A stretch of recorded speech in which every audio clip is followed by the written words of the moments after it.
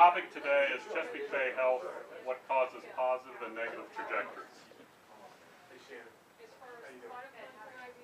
So as a brief introduction uh, to what STAR is, the STAR Lectures represents the Science, Technical Analysis, and Reporting Group of Chesapeake Bay Program, where we are integrating between the goal implementa- implementation teams and the various data providers. So STAR is, is facilitating the dialogue between those, and the seminar series is a way to uh, provide ideas and challenge uh, people to, uh, to be thinking about uh, issues related to Chesapeake Bay. So these lectures have a goal of providing concise, 15-minute, thought-provoking ideas related to Chesapeake Bay science and management. And uh, our rules of engagement is 15 minutes, which can be captured on video and posted on the uh, IAN website.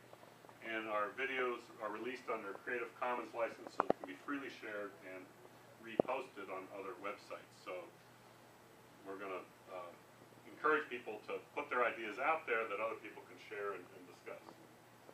So, the idea that I wanna present today is having to do with the Bay Health Index, uh, that we've been developed, uh, as part of the EcoCheck, NOAA, University of Maryland Center for Environmental Science partnership, in which we take three indicators of water quality, chlorophyll A, dissolved oxygen, water clarity, establish thresholds for those three water quality indicators, three biotic indicators, the aquatic grasses, uh, bottom uh, dwellers, the, the benthic index of biotic uh, integrity, as well as a phytoplankton index of biotic integrity, and combine these three water quality and these three biotic indicators into uh, uh, using these thresholds, measuring their uh, ability to um, achieve their, those guidelines, and then create a water quality index and a biotic index that we combine together into a Bay Health Index.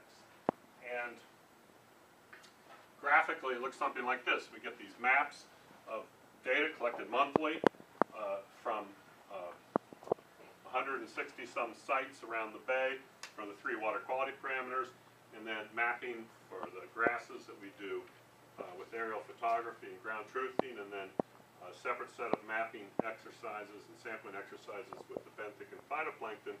Combine this uh, uh, into a threshold comparison and generate these uh, combined indices. And then from these indices, we generate uh, a report card ranking. We use a numerical uh, 1 to 100 scale for water quality and biotic index, and we take the average of those. And uh, then we plot those on a Baywide map, and we assign a letter grade based on a grading scheme that's pretty uh, liberal. Uh, we we, we um, uh, have 20 point uh, windows for each of the different letter grades, and you see a, a diversity of grades.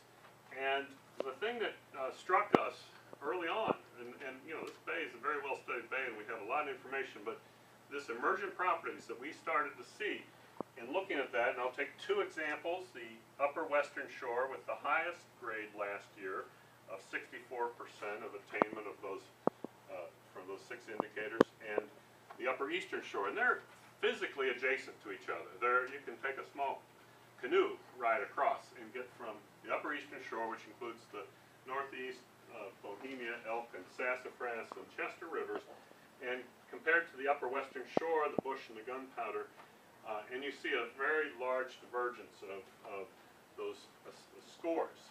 And so uh, this this was um, uh, uh, somewhat perplexing, but but what we um, what we also were able to do is because we established indicators that the Chesapeake Bay program had been collecting for uh, 20 years, uh, we could back calculate those assessments. And when we did that on the Baywide scale, back calculate, we see that there's no major trajectory. It's, it's pretty much going up and down. Uh, uh, dry years and wet years uh, uh, are, are, are clearly uh, inf uh, influence the, um, the, the overall rankings.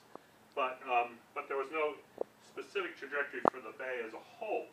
But when we started to look at the trajectories of individual regions, what we found, uh, lo and behold, was that there were uh, most of them didn't have a, a, a significant trajectory, but, but several did. And for the combined Bay Health Index, we had statistically significant correlation coefficients that were positive. In other words, getting better for the James River, for the Upper Bay segment, and the Elizabeth River in Virginia. And we had statistically significant negative trajectories for the Mid-Bay, the Upper Eastern Shore, which I highlighted earlier, and the Lower Western Shore of Maryland, the, the, the Severn, the South, the uh, West Rhode, and um, the Magothy.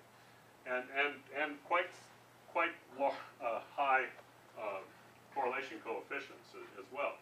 So th- therein lies the, the, the issue uh, that I want to address here in this, in this um, uh, lecture.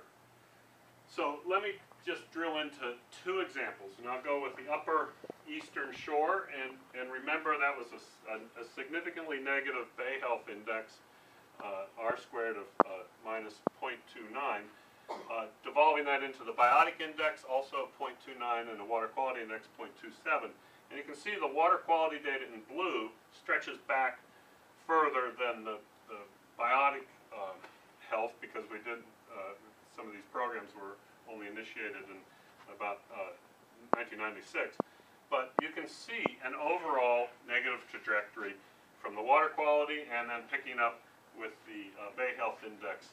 Uh, uh, so not only was this grade that we calculated 27 for one of the lowest in the bay, but it's getting lower. So it's low and getting lower. Phil, when you did the, um, R squares, did you do, Let's, um, I'm sorry, for the whole time period, for all, all of them or? the, the R squared were, that we calculated were for the time period of record available. So they were shorter for the biotic and law, and throughout the to, uh, total time period. Let's have a look at what the Upper Eastern Shore watershed, uh, is, is doing, and it's very rural. And it's, this is a, a, a aerial photo of the, um, uh, Sassafras River, and, and down here's an aerial photo of the, uh, Chester River. Uh, there are a couple towns, uh, Centreville and, and Chestertown, but relatively small towns, um, up into, uh, Delaware and, in the, in the far, northeast corner. Um, lots of, agriculture, poultry farms, uh, and some forested areas up in the, in the top. So there, there's no, um, immediate, uh, smoking gun for degrading uh, continually degrading water quality up there.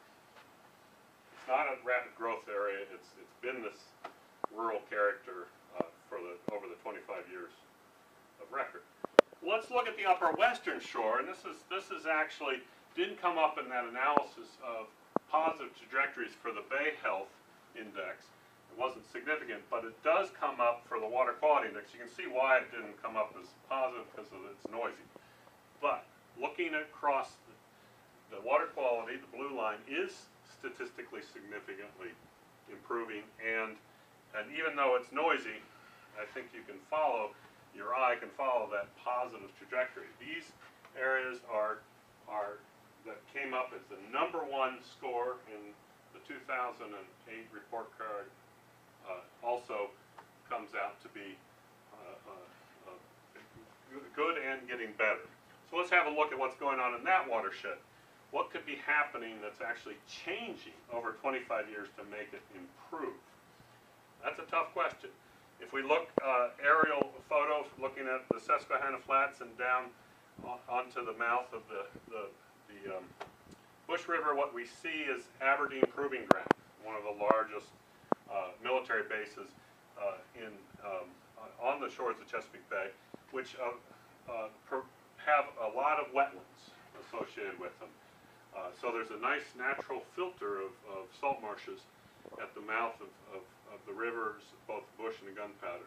So that, that's one part of it. Again, it's a largely rural character, but uh, it does have the I-95 corridor with um, uh, Bel Air and, and other uh, priority, they call it a, a priority funding area. They have a, they have a, a relatively concentrated growth. It's not a total sprawl throughout the watershed.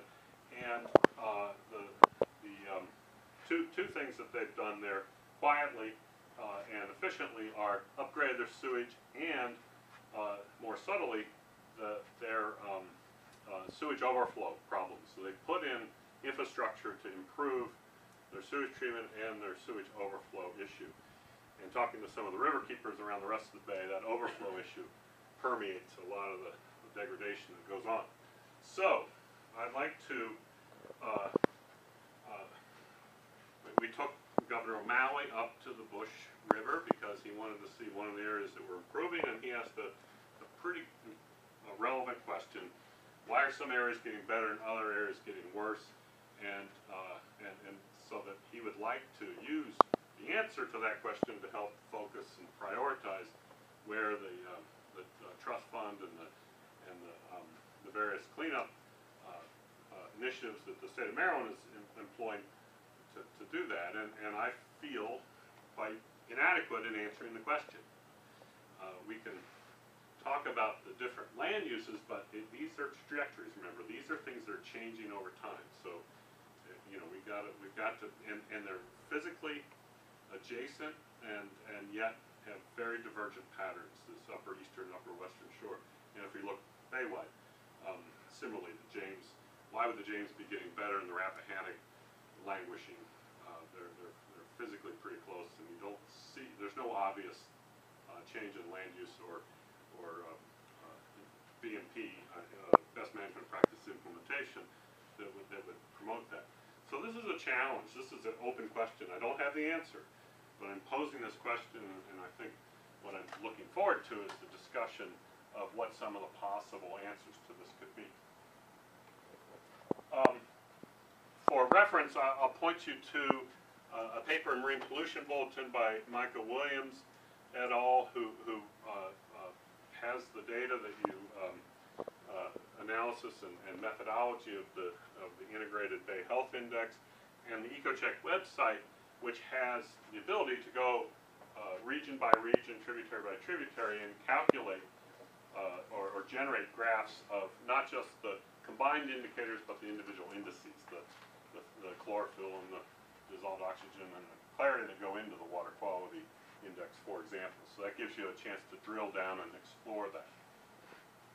Um, I want to acknowledge uh, the team at the Integration and Application Network who've uh, been, uh, uh, particularly the EcoCheck crowd, who's been working at developing those, those tools and integration, as well as the Chesapeake Bay Monitoring Team, for whom uh, received an A plus for, for their efforts in, in developing these report card technologies and, and communications techniques. And then finally, uh, we'll, we'll post this, uh, this talk and, and, and this broader challenge on this uh, website and, and do this for the series, this uh, STAR lecture series. So, thanks very much.